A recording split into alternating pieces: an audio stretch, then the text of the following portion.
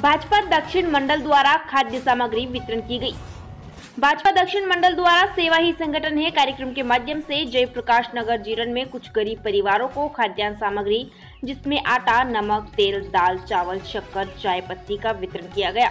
इस अवसर पर भाजपा दक्षिण मंडल अध्यक्ष मधुसूदन राजोरा, पूर्व नगर परिषद उपाध्यक्ष मुकेश राव तावरे, मंडल महामंत्री किशन अहिरवार, पत्रकार राजेश लक्षकार उपस्थित थे। लगातार ताज़ा खबरों के लिए बने रहे हमारे चैनल खबर है तो दिखेगी के साथ। वहीं सभी जिलों और तहसीलों में अनुभवी रिपोर्टर की आवश्यकता।